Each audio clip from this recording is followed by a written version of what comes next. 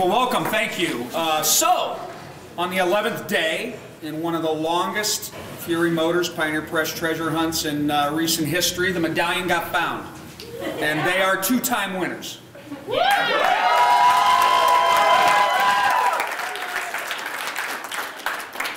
Jake Ingebrigtsen, Rob Brass, congratulations. Thank you. Let you talk to them in just a second, but they are the winners of $10,000 in the treasure hunt. And here to present the check from Fury Motors, Rick Peterson.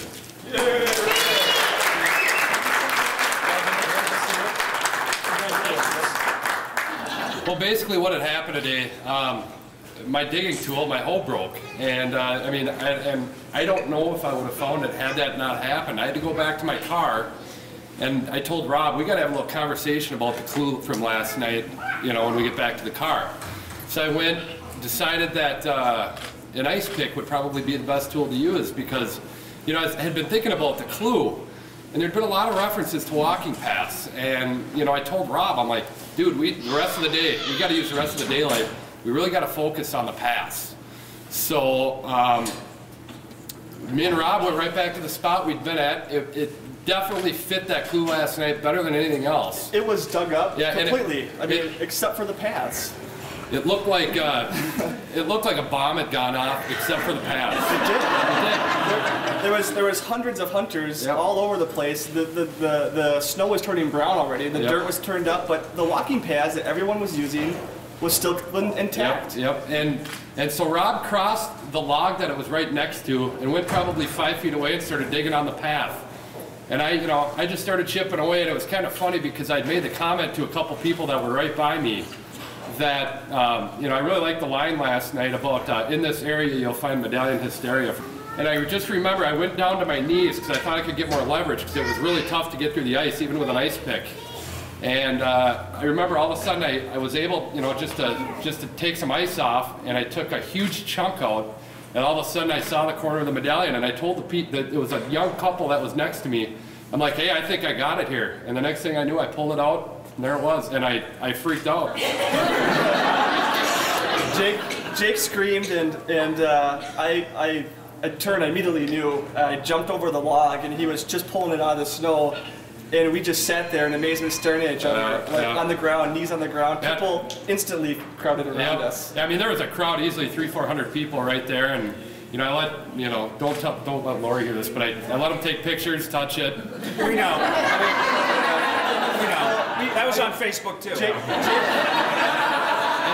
And you know, you know, I really, you know, and I, I really kind of feel that, you know, Yeah. this isn't my treasure. It's everyone's. It's everyone's. And you know, I, I know that before I found it, I really would, wish I would have had an opportunity to just, you know, see it, touch it, you know, because up until I found it, I had no idea really what it looked like. People So- want to see it. They want to touch Yep. it. They want to know that they're that the Yeah. digging is to be done. That, that they can leave the park. You park. just want to put your check down. You don't Sure. have to hold it the whole time. I promise you, you'll get the money. It's good. Um, so you guys won in 2007, Yep. right? Yep. Was this harder, easier? 2007, you won in what? A couple I- of days? Yeah, three, three, three days. And you know, I, I, I think I could probably say that both physically and mentally, this was probably the most difficult hunt I've participated in. It was draining, Yep. especially with the, the rain on Saturday. Yep, and that, that was by far my toughest day as a treasure hunter. I hunter. have a baby boy on the way in eight days, and I just want to thank my wife for being so supportive, let me hunt. And it's- She, she has let me come out every day, and she has to go to work pregnant and work all day.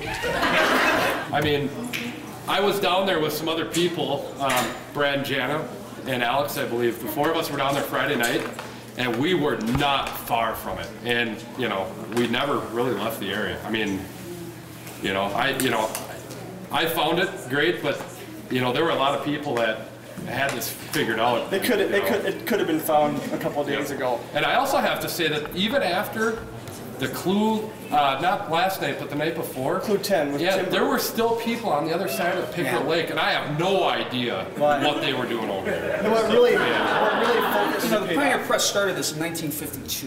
What do you guys, both two-time winners, what keeps this going? Why do people keep coming out? Well, I mean, it's, it's, you know, it's a great event. I mean, you know, where else, I mean, you should have you should have been down there last night. It's so fun. I mean, Yeah. it's just like it's it's in the middle of nature. It's relaxing. It's it's just a great time. You know, and it's a lot of fun to talk to people and meet people. You know, and you know, you know, somebody put it best when they said, you know, there's people you meet and become friends with that you'd never meet in your normal social circles. And Yep. I think that, that that's really true. So I think the next step is for us to find it one more time. Yeah.